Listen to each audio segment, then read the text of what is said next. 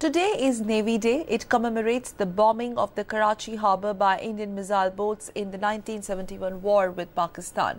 The three service chiefs, General Dalbir Singh, Admiral Sunil Lamba and Air Chief Marshal Arup Raha, paid homage to the martyrs by laying wreaths at the Amar Jawan Jyoti at India Gate.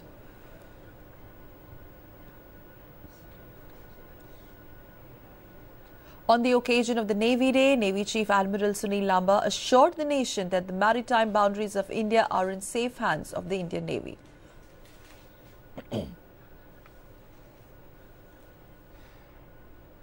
I assure the nation that the Navy is fully combat ready and fully prepared to protect our maritime interests in the Indian Ocean region.